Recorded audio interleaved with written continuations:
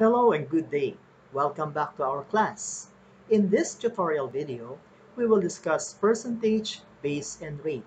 We will talk about translating word problems into mathematical symbols. Also, we will discuss formula related to this topic.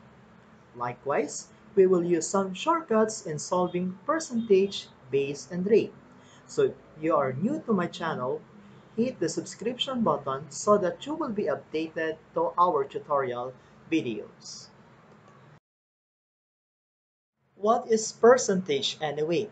Percentage represents a part of the base. It is without percent symbol and is either before or after the word is.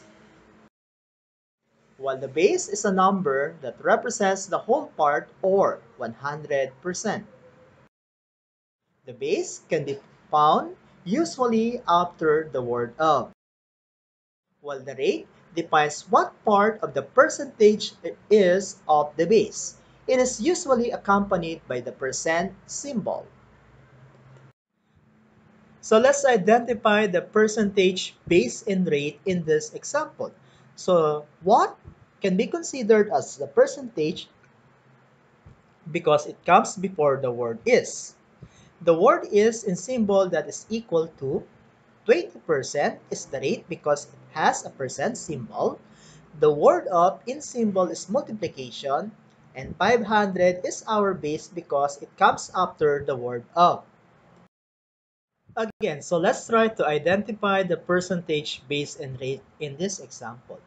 So 10 is 50% of what number? So take note, 10 is the percentage because it comes before the word is.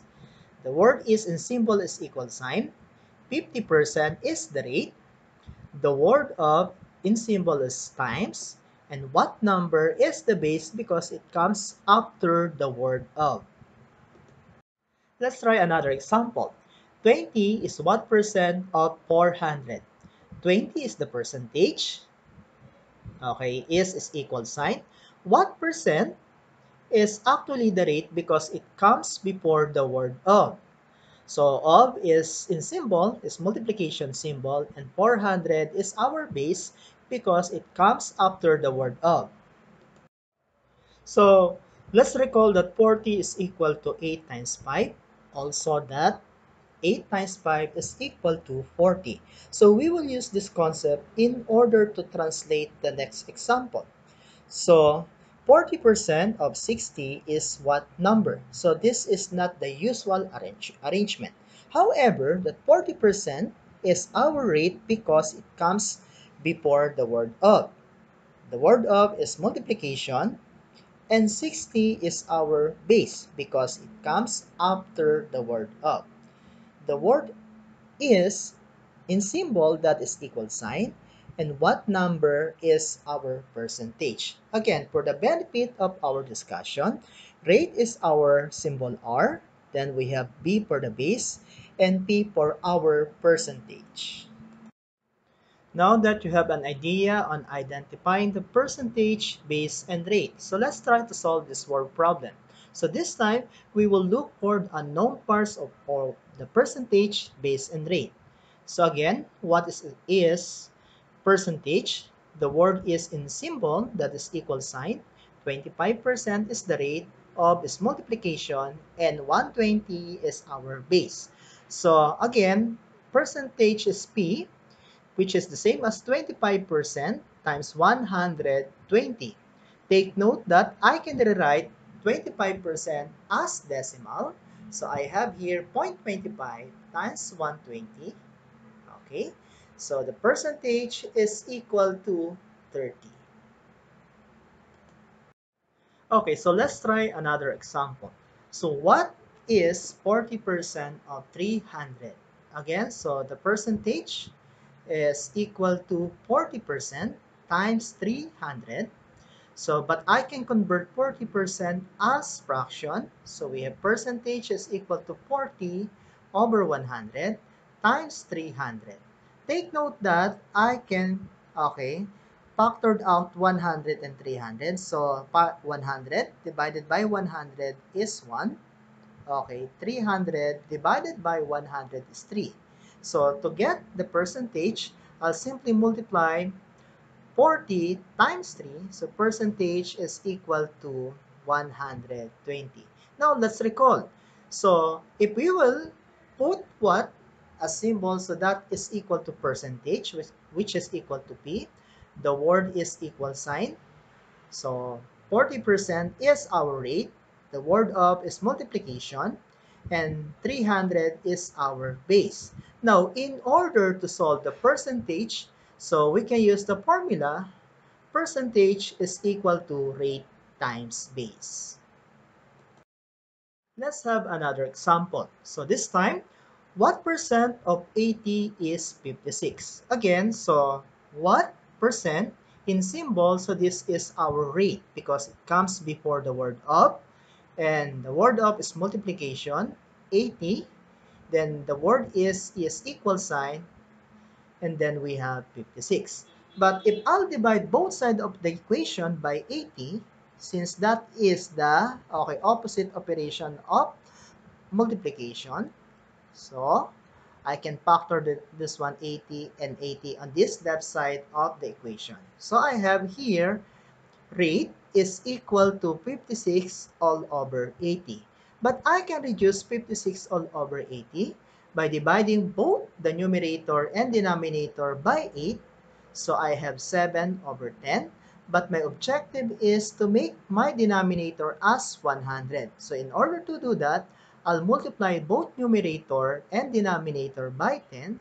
So I have here 70 over 100 or by the definition of percent, so rate is equal to 70%. Take note that, okay, we are looking here for the rate times the base is equal to your percentage. So therefore, the formula for looking for the rate, so rate is equal to percentage divided by the base. Let's have another example. So I have 5% of what number is 20. So again, 5% times what number is our base because it comes after the word of is equal to 20. Since I'm looking for the base, I'll divide both sides of the equation by 5%. So, if I'll divide both sides of the equation by 5%,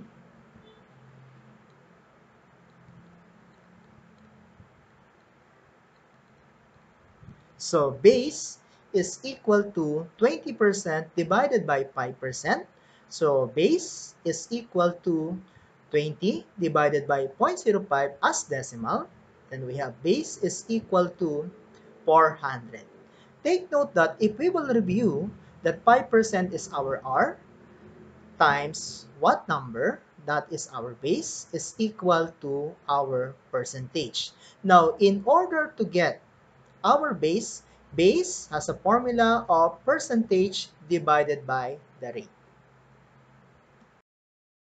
To summarize the formula that we okay get a while ago so we have percentage is equal to the product of rate and base while the rate is equal to percentage divided by the base. And do not forget to put the percent symbol while the base is equal to percentage divided by the rate. Okay since you have now an idea in solving the percentage base and rate so let's try to use the formula Okay, with, with this example, 36 is 45% of what number? Take note that 36 is our percentage and our rate is 45% and our base is equal to what number? Remember the triangle that, okay, so we are looking for the base. So base is equal to percentage divided by the rate.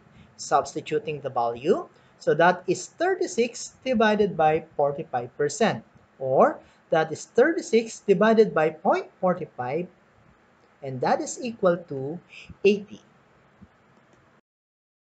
Let's try another example. So 15 is what percent of 75? Again, 15 is the percentage. What percent is the rate? Okay, of is multiplication and 75 is our base.